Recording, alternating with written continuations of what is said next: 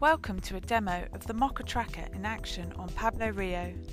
The Mocha Planar Tracker from Imagineer is the most versatile and precise tracker in the industry and it's integrated right into the Pablo Rio colour and finishing toolset. The Mocha Tracker is designed to track an area of image within a defined shape rather than the individual points within a source image. Anda. In this commercial from Ringside Creative, I will be replacing the screen of the phone with another image. A shape can be specified within any of the effects menus such as colour, blur and graphics and is instantly available in the tracker menu. Or it can be defined within the tracker menu itself. Let's take a closer look at how we can define an area to track. I'm selecting the phone to place an image inside this area Let's name the track phone so we can identify it later. Mocha offers a sophisticated range of options including scale, shear and perspective. These allow for instances where your shape needs to retain its size or shape through the track, or to resize and change as the source image changes, achieving great results when the subject moves in two or three dimensions.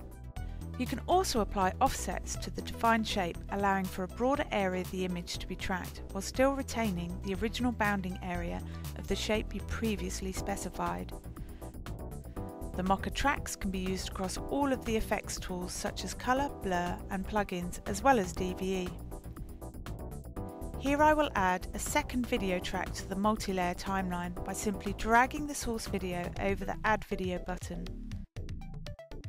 As this shot has a hard black edge, I'm going to use some of the finishing tools available in Pablo Rio to apply a soft mask and also move the current corner pin positions to match that of the actual source size. Now I can simply apply the track data to the image. By applying a grade to the image, the shot now sits perfectly in the frame. There's just one last effect I need to apply. It's just so easy to edit within MLT and then continue with the finishing of the final shot. I use the keyer tool to key and add blur through a duplicate of the background layer, thus revealing the fingers from behind the new screenshot and tying the whole image perfectly together. And now I can instantly play this down to view the result. Job done. Thanks for watching this brief overview of the Mocha Tracker in action on Pablo Rio.